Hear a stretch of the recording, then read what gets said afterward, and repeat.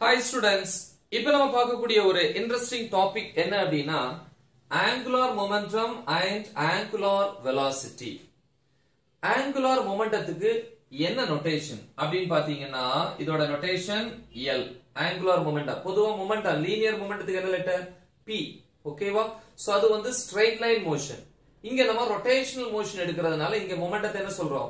Angular momentum angle ஒரு three sixty டிகிரில rotate பண்றதுனால. Okay good so L it is a vector quantity சரி. Then angular வெலாசிட்டிக்கு என்ன notation omega நம்ம ஏற்கனவே பார்த்திருப்போம் இல்லையா? ஒரு ஆப்ஜெக்ட் வந்து ஸ்ட்ரைட் லைன்ல மூவ் ஆயிடுச்சு அப்படின்னா அதை straight line motion linear motion அல்லது டிரான்ஸ்லேஷன் மோஷன் சொல்லுவோம். அப்ப ஸ்ட்ரைட் லைன்ல டிராவல் பண்ணக்கூடிய ஒரு ஆப்ஜெக்டோட வெலாசிட்டியை லீனியர் வெலாசிட்டி அப்படின்னு சொல்லுவோம். தட் இஸ் வி வி எங்க லெட்டர் யூஸ் பண்ணுவோம் இங்க ஆங்குலார் வெலாசிட்டினா ஒரு ஆப்ஜெக்ட் வந்து ரொட்டேஷனல் மோஷன்ல இருக்கும்போது த்ரீ சிக்ஸ்டி டிகிரி ரொட்டேட் ஆகுது கரெக்டா அப்ப அதுல இருக்கும்போது அந்த பார்ட்டிகல் அல்லது அந்த ஆப்ஜெக்டோட வெலாசிட்டிய ஆங்குலார் வெலாசிட்டின்னு சொல்லுவோம். So rotation omega it is also a vector quantity okay ஏன்னா லீனியர் வெலாசிட்டி வெக்டார் அதனால ஆங்குலார் வெலாசிட்டி வெக்டார் அதே மாதிரி லீனியர் மொமெண்டம் வெக்டார் அதனால ஆங்குலார் மொமெண்டமும் வெக்டார் ஓகே சோ இந்த கொஸ்டின் எப்படி கேட்கலாம். Obtain the relation between angular momentum and angular velocity இந்த ரெண்டுக்குள்ள ரிலேஷன் அப்ப அந்த ஃபைனல் எக்ஸ்பிரஷன்ல இந்த ரெண்டு நோட்டேஷனும் வரணும். என்ன ரிலேஷன்ங்கிறத பார்ப்போம். சோ எக்ஸ்பிளனேஷனுக்காக நான் என்ன பண்றேன் அப்படின்னா ஒரு irregular shape rigid body rigid body அப்படிங்கறது நான் ஏற்கனவே சொல்லியிருப்பேன். ரொம்ப சாலிடா இருக்கக்கூடியது. அதுல இருக்கக்கூடிய பார்ட்டிகிள்ஸோட ஸ்பேஸ் வந்து ரொம்ப ரொம்ப ரொம்ப கம்மியா இருக்கும். பெர்ஃபெக்ட் ரிஜிட் பாடினா ஸ்பேஸ் இருக்காது. பார்ட்டிகிள்ஸ் இன் பிட்வீன் அப்படின்னு சொல்லி படிச்சிருப்போம். ஓகேவா எனிவே சோ ரிஜிட் பாடிங்கிறது த்ரீ டைமென்ஷனுக்கு எக்ஸாம்பிள் ஃபார் எக்ஸாம்பிள் இப்போ இந்த ஒரு ஆப்ஜெக்ட் நான் எடுத்துக்கிட்டேன் அப்படின்னா இதுக்கு என்னெல்லாம் இருக்கு பாருங்க? லென்த் இருக்கு. நெக்ஸ்ட் பிரெத் இருக்கு. ஹைட் இருக்கு. மூணுமே இருக்கு. அப்ப த்ரீ ஆக்சஸ் வந்து யூஸ் ஆகுது. கரெக்டா டூ ஆக்சஸ் இருந்தா டூ டைமென்ஷனல் த்ரீ ஆக்சஸ் இருந்தா த்ரீ டைமென்ஷனல் அப்போ rigid body three dimensional okay yes regular irregular. என்ன வித்தியாசம்? நெய்ம் சொல்ற மாதிரி இருந்துச்சுன்னா ஃபார் எக்ஸாம்பிள் ஸ்பெரிக்கல் ஷேப் இல்ல வந்து ரெக்டாங்கிள் இல்ல வந்து எலிப்ஸ் இந்த மாதிரி ஷேப் சொல்ற மாதிரி இருந்துச்சுன்னா அதை ரெகுலர் ஷேப்னு சொல்லுவோம். ஷேப் சொல்ல முடியாத மாதிரி இல்லையா? நெய்ம் தெரியாத மாதிரி இருந்துச்சுன்னா அதை irregularன்னு சொல்லுவோம். நாட் யூனிஃபார்ம் அப்படின்னு சொல்லுவோம் ஓகே எஸ் ஒரு ரிஜிட் பாடியை நான் எடுத்துக்கிறேன். சோ இந்த மாதிரி இருக்கக்கூடிய ஒரு ஆப்ஜெக்ட் ஓகே எஸ் ஒரு ஆப்ஜெக்ட் அப்படின்னா ஒரு ரிஜிட் பாடின்னா என்னது? It's made up of number of particles இல்லையா? Each and every material is made up of particles are called atoms. ஒவ்வொரு ஆப்ஜெக்டும் எதனால ஆனது particles என்கிற atoms ஆனது கரெக்டா குட் சோ இதோட என்டையர் மாஸ் கேபிட்டல் M எடுத்துக்கலாம். ஆனா இதோட டோட்டல் மாஸ்ங்கிறது இதுல இருக்கக்கூடிய ஒவ்வொரு பார்ட்டிகிள்ஸோட இண்டிவிஜுவல் மாஸ் ஆட் பண்ணும்போது கிடைக்கும். ஓகேவா குட் இப்போ இது ரொட்டேட் ஆகணும்னு என்ன பண்ணணும்? ஒரு ஆக்சிஸ் வேணும். இப்போ ஃபார் எக்ஸாம்பிள் இது ஒரு ஆக்சிஸ் இதுல ஒரு பேங்கிள் வளையல போட்டுக்கிட்டு நம்ம என்ன பண்ணலாம்? இப்படி சுத்தலாம் இல்லையா? சோ அப்ப இப்படி சுத்தும் போது அந்த பேங்கிள் சுத்தணும் அப்படின்னா இந்த ஆக்சிஸ் வேணுமா வேண்டாமா? வேணும் இல்லையா? அதே மாதிரி இங்க ஒரு காமன் பிக்ஸ்ட் ஆக்சிஸா சூஸ் பண்ற இது ஒரு ஆக்சிஸ் இந்த ஆக்சிஸ மையமா வச்சு என்ன பண்ணுது? இந்த ரிஜிட் பாடி ரொட்டேட் பண்ணுது. அப்ப ரொட்டேட் பண்ணும்போது இந்த ரிஜிட் பாடியோட சேர்ந்து இதுல இருக்கிற எல்லா பார்ட்டிகிள்ஸும் ரொட்டேட் பண்ணும். அப்ப இந்த ரிஜிட் பாடியோட velocity I mean speed with direction என்னவோ அதே தான் அந்த பார்ட்டிகிள்ஸுக்கு இருக்கும். இப்ப நான் ஒரே ஒரு பார்ட்டிகளை மட்டும் சூஸ் பண்றேன். இப்ப ஃபார் எக்ஸாம்பிள் இந்த பார்ட்டிகளை நான் சூஸ் பண்ணேன்னு வச்சுப்பேன் இதான் அந்த பார்ட்டிகள் இந்த பார்ட்டிகளுக்கு மாஸ் இருக்கும் இல்லையா? Least mass the mass is call point mass அப்படின்னு சொல்லியிருக்கோம் ஓகே சோ இது எவ்வளவு டிஸ்டன்ஸ்ல இருக்கு அப்படின்னா பிக்ஸ்ட் ஆக்சிஸ்ல இருந்து ஆர் டிஸ்டன்ஸ்ல இருக்கு. ஏன் ஆர் கொடுத்துருக்குறோம்? பொதுவா த்ரீ டைமென்ஷனல்னா அதுல இருக்கக்கூடிய பார்ட்டிகள் இல்லையா? இப்ப இதுல ஒரு பார்ட்டிகள் இருக்குன்னா அது வந்து எக்ஸ் ஆக்ஸ்லயும் இருக்கும் ஒய்லயும் இருக்கும் இசட்லயும் ஒரு வேல்யூ இருக்கும். அப்ப எக்ஸ் ஒய் இசட் சேர்ந்தா படிச்சிருப்பீங்க. Position vector R vector equal to X I cap plus Y J cap plus Z K இப்ப அலாங் எக்ஸ் ஆக்சிஸ்னா டிஸ்டன்ஸுக்கு எக்ஸ் கொடுப்போம். அலாங் ஒய்னா ஒய் அலாங் இசட்னா இசட் படிச்சிருக்கோம். இப்ப காமனா சொல்லும் போது டிஸ்டன்ஸ் ஆர் ஏன்னா மூணு ஆக்சிஸுமே வரும். அதனாலதான் ஆர் இன் திஸ் டிரெக்ஷன்ங்கிறதுனால ஆர் வெக்டார் அப்படின்னு போட்டுக்கலாம். ஓகேவா குட்பா இப்ப இந்த ரிஜிட் பாடி ரொட்டேட் பண்ணும்போது இந்த பார்ட்டிகுலர் சேர்ந்து ரொட்டேட் பண்ணும். கரெக்டா எப்படி? இதே டிஸ்டன்ஸ் இந்த பக்கம் அது மெயின்டைன் பண்ணும். அப்ப இதே டிஸ்டன்ஸ மெயின்டைன் பண்ணிச்சுன்னா அது பாக்குறதுக்கு எப்படி இருக்கும்? சர்க்கிளா இருக்கும். ஓகேவா சோ இந்த மாதிரி. நீங்க ஃப்ரண்ட்ல இருந்து பாத்தீங்கன்னா பாக்குறதுக்கு எலிப்ஸ் மாதிரி தான் தெரியும். ஆனா எலிப்ஸ் கிடையாது. நீங்க கரெக்டா சைடுல இருந்து பாத்தீங்கன்னா அது என்ன ஆர்பிட்ல தெரியும்? எக்ஸாக்ட் சர்க்கிள் சோ அப்ப இது வந்து சர்க்குலர் ஆர்பிட் சோ நீட்டா போட்டுக்கலாம். சோ இந்த மாதிரி. ஓகே இது என்ன ஆர்பிட் பா? Circular orbit of radius R இது ரேடியஸ் மாதிரி சொல்லலாம். சரி. இப்ப சர்க்குலர் ஆர்பிட்ல சுத்தும் போது அந்த பார்ட்டிகிள் இப்ப ரிஜிட் பாடி சுத்தக்கூடிய அதே ஸ்பீட்ல தானே அதே வெலாசிட்டில தானே இந்த பார்ட்டிகிள் சுத்தும்? அப்ப இந்த பார்ட்டிகிளோட வெலாசிட்டி டைரக்ஷன் எப்படி இருக்கும்? இந்த டைரக்ஷன்ல இருக்கும். எதை வச்சு சொல்றேன் அப்படின்னா ஃபார் எக்ஸாம்பிள் நாம இங்க நிக்கிறோம். நின்னுட்டு ஒரு த்ரெட் இந்த இடத்துல ஒரு ஸ்டோனை வந்து அட்டாச் பண்ணிட்டு சுத்துறீங்க. சுத்தும் என்ன ஆகும்? அதுவும் சர்க்குலர் மோஷன் தான்.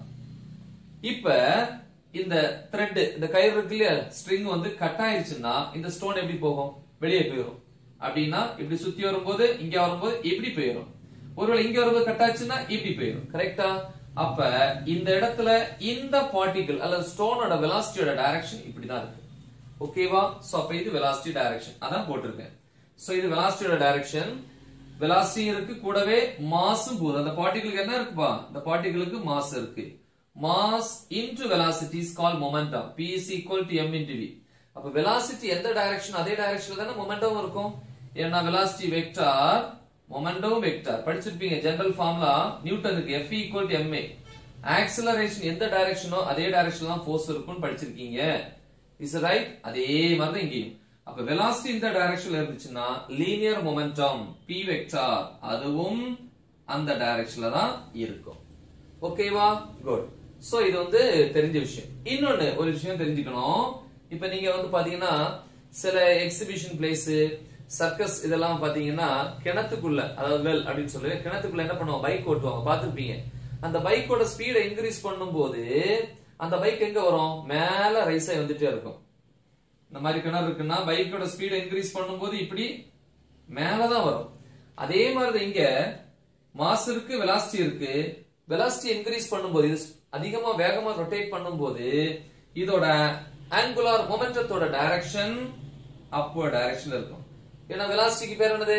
ஆங்குலார் வெலாசிட்டி ஓகேவா சோ அப்ப வெலாசிட்டியோட டைரக்ஷன் தான் மொமெண்டத்தோட டைரக்ஷன் இங்க ரொட்டேஷனல் மோஷன்ல இருக்கிறனால இங்க உள்ள வெலாசிட்டிக்கு என்ன பேரு? ஆங்குலார் வெலாசிட்டி அப்ப லீனியர் வெலாசிட்டியோட டைரக்ஷன்ல லீனியர் மொமெண்டா இருந்தா ஆங்குலர் வெலாசிட்டியோட டைரக்ஷன்ல தானே ஆங்குலர் மொமெண்டா இருக்கும்? That is denoted by letter L இது ரெண்டுமே வெக்டர் அப்ப பாருங்க மொமெண்டத்தோட டைரக்ஷன் மேல் நோக்கி இருக்கு. அப்வர்ட்ஸ் ஓகேவா குட் சோ இப்போ இதுல பாருங்களேன். இந்த ஆங்குலர் மொமெண்டம் ஆர் வெக்டாருக்கும் பி வெக்டாருக்கும் எப்படி இருக்கும்? பெர்பெண்டிகுலரா இருக்கும். அதே நேரத்துல இதுவும் ரெண்டு ஒன்று பண்ணி எப்படி இருக்கு? பெர்பெண்டிகுலரா இருக்கு. சோ அப்ப நான் எழுதுறேன்.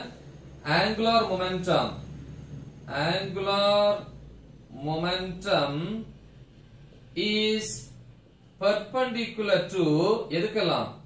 R vector and P vector சரி நம்ம ஒரு ஃபார்முலா படிச்சிருப்போம். ஆங்குலர் மொமெண்டம் ஃபார்முலா சொல்லுங்க பாப்போம் angular momentum L is equal to R into P. P னா லீனியர் மொமெண்டம் சோ இங்க வெக்டார் போட்டுப்போம். இந்த டெரிவேஷன் நம்ம ஏற்கனவே டிரைவ் பண்ணி இருக்கிறோம் ஓகேவா எஸ் சோ இது வெக்டார்ல இருப்பா. நம்ம இத ஸ்கேலார்ல மாத்துவோம். ஸ்கேலார் அப்படின்னா அதுக்கு என்ன மட்டும் இருக்கும்? மேக்னிடியூட் வேல்யூ சோ அப்ப இன் ஸ்கேலார் ஸ்கேலார்னா மேக்னிடியூட் ஃபார்ம் என்ன? இது எப்படி இருக்கு பாருங்க. A vector cross B vector cross product ஃபார்ம்ல A vector cross B vector equal to AB sine theta அதே மாதிரி இங்க ஆர்பி சைன் தீட்டா சோ அப்ப ஸ்கேலார் எழுதும் போது மேல அந்த ஆரோ மார்க் போடக்கூடாது. ஆர்பி சைன் தீட்டா இங்க ஆரும் பியும் இந்த கேஸை பொறுத்த வரைக்கும் here the angle is ninety degree so அப்ப இங்க எழுதலாம் L is equal to rp sin 90 degree L is equal to R into P. P என்னது momentum. P is equal to form என்னது linear momentum. P க்கு mv sin 90 value என்னது 1 அப்ப L is equal to R mv அப்படின்னு கிடைக்கும் இது equation number 1 நாம ஏற்கனவே ஒரு டாபிக் பார்த்திருக்கோம் என்னது relation between relation between v and omega v என்னது linear velocity and angular velocity ஒரு derivation second unitல பார்த்திருக்கோம் So, அந்த derivation எடுத்து பாருங்க relation between linear velocity and angular velocity என்ன formula v is equal to r omega ன்னு So, இதை equation number 2 ன்னு இது நமக்கு தெரிஞ்சது இதை first equationல substitute பண்றேன் in 1 L is equal to R பிளேஸ்ல இத இருக்குல்ல V is equal to R omega இருக்கு. இந்த பிளேஸ்லயே போட்டுக்கலாம் அப்படிதானே? So R M V V பிளேஸ்ல என்ன போட்டுக்கலாம்? R omega. ஏன்னா relation between L and omega தான் கண்டுபிடிக்கணும். அப்ப ஒமேகா கண்டிப்பா நான் கொண்டு வரணும். அதனால தான் இந்த ஈக்குவேஷன் நம்ம இங்க எடுத்துட்டோம். கரெக்டா சோ அப்ப இதுல இருந்து L is equal to M R into R R square omega இது ஸ்கேலார்ல இருக்கு இனி இன் வெக்டார் அப்படின்னு வரும்போது L vector is equal to M R square into omega angular velocity vector இல்லையா வெக்டார் சோ இது ஈக்குவேஷன் நம்பர் இத த்ரீன்னு போட்டுப்போம் இது ஈக்குவேஷன் நம்பர் ஃபோர்னு எடுத்துப்போம் சோ இதை நம்ம வந்து ரப் பண்ணிடுவோம் இப்ப இந்த ஏரியாவை ரப் பண்ணிட்டோம் சோ நெக்ஸ்ட் நம்ம படிச்சிருக்கோம் ஏற்கனவே இந்த எம் ஆர் ஸ்கொயர் அப்படின்னு என்னப்பா? ஏற்கனவே ஒரு டெரிவேஷன் பார்த்தோம். ஒரு ஆப்ஜெக்ட் வந்து ஸ்ட்ரைட் லைன் மோஷன்ல இருந்துச்சுன்னா அந்த ஆப்ஜெக்டோட மாஸ் எம்னு சொல்லுவோம். ரொட்டேஷனல் மோஷன்ல இருக்கும்போது மாஸுக்கு இன்னொரு டைம் யூஸ் பண்ணிருக்கோம் மொமெண்ட் ஆஃப் இனர்ஷியா என்ன ஃபார்முலா எம் ஆர் ஸ்கொயர் அப்ப இதுல எழுதலாம் M R ஸ்கொயர்ங்கிறது moment of inertia of a point mass ஒரே ஒரு பாயிண்ட் மாஸ் தான் எடுத்திருந்தோம். அப்ப இதுல எத்தனை பாயிண்ட் மாஸ் இருக்கு? எத்தனையோ பாயிண்ட் மாசஸ் இருக்கு. அப்ப மொமெண்ட் ஆஃப் இனர்ஷியாக்கு ஃபார்ம் என்ன? I is equal to M R square இது வந்து ஒரே ஒரு பாயிண்ட் மாஸுக்கான மொமெண்ட் ஆஃப் இனர்ஷியா ஆனா இதுல எத்தனை இருக்குன்னு சொன்னேன்? நிறைய பார்ட்டிகிள்ஸ் இல்லையா? இந்த ரிஜிட் பாடிக்குள்ள எத்தனையோ பார்ட்டிகிள்ஸ் இருக்கு. அப்போ ஒவ்வொரு பார்ட்டிகிளுடைய மொமெண்ட் ஆஃப் இனர்ஷியாவை ஆட் பண்ணா எனக்கு என்ன கிடைக்கும்? இந்த ரிஜிட் பாடியோட டோட்டல் மொமெண்ட் ஆஃப் இனர்ஷியா கிடைக்கும். அப்ப நான் எழுதுறேன். Total moment of inertia moment of inertia of a rigid body is the sum of என்னது moment of inertia of the individual point masses ஒவ்வொரு point mass ஓட moment of inertia ஆட் பண்ணணும் அப்ப moment of inertia total i is equal to இப்ப ஒரே ஒரு particle இப்ப முதல்ல ஒரு பார்ட்டிகல் இருந்தனால தான் நான் m1 r1 ன்னு போடல ஒருவேளை ரெண்டு பார்ட்டிகள் இருந்திருந்தா நான் ஐ மீன் டிஃபரன்ஷியேட் பண்றதுக்கு ஒன்னு எம் ஒன் இன்னொன்னு எம் டூ எடுத்திருப்பேன். இப்ப நிறைய பார்ட்டிகல்ஸ் இருக்கு இல்லையா? அப்ப மொமெண்ட் ஆஃப் இனர்ஷியாக்கு எப்படி எழுதுவோம்? M one R one square plus ரெண்டாவது particle M two R two square plus போயிட்டே இருக்கும். எது வரைக்கும் போலாம்? பிளஸ் அப் டு எம்என் வரைக்கும் இருக்கலாம். எம்என் ஆர் ஒன் ஸ்கொயர் வரைக்கும் இருக்கலாம். Which is equal to up to N வரைக்கும் இருந்தா ஆட் பண்றதுக்கு ஒரு நொட்டேஷன் யூஸ் பண்ணுவீங்க. சம்மேஷன் இந்த 1 to nங்கிறத இண்டெக்ஸ் நம்பர்ஸ் இண்டெக்ஸ் சொல்லுவோம். அதனால ith iங்கிறது 1 ல இருந்து n வரைக்கும். கரெக்டா இப்ப மீதி எல்லாத்தையும் எப்படி எழுதலாம்? M r ஸ்கொயர் இந்த 1 2 அப்படி எல்லாம் போடக்கூடாது. அதான் ith ன்னு எடுத்துட்டீங்க. சோ i i ன்னு எடுக்கலாம். இதான் moment of inertia of a rigid body கரெக்டா சோ அப்ப இங்க எழுதலாம். For a rigid body rigid body மொத்தமா வரும்போது அந்த ரிஜிட் பாடியோட angular momentum L vector equal to இத போடக்கூடாது. ஏன்னா இது வந்து ஒரு point மாஸுக்கான moment of inertia total rigid பாடிக்கு இதா இருக்கு. அப்ப இந்த இடத்துல இத போட்டுக்கணும். Summation i is equal to 1 to N mi ri square then இங்க என்ன இருக்கு? பிராக்கெட் போட்டுக்கோங்க. Omega vector so L vector is equal to இந்த பார்ட்டுக்கு பதிலா இந்த ஐ போட்டுக்கலாமா? So I omega vector so இப்ப இந்த i என்கிறது என்னது?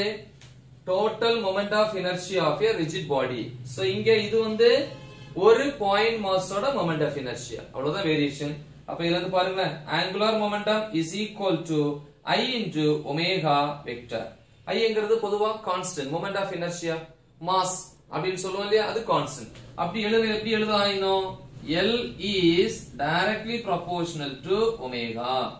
அப்படின்னா angular மொமெண்டமும் ஆங்குலர் velocityயும் டைரக்ட்லி proportional. பாருங்க ரெண்டு ஒரே டைரக்ஷனா இருக்கு. அதான் டைரக்ட்லி proportional. அப்படின்னா ஆங்குலர் வெலாசிட்டி கூடிச்சுன்னா ஆங்குலர் மொமெண்டம் கூடும். ஆங்குலர் வெலாசிட்டி குறைஞ்சா ஆங்குலர் மொமெண்டமும் குறையும். தட்ஸ் இட் ஸோ முக்கியமான ஒரு டாபிக் நல்லா தெளிவா பிராக்டிஸ் பண்ணுங்க. மறக்காம இது உங்க ஃப்ரெண்ட்ஸுக்கும் ஷேர் பண்ணுங்க. All the best thank you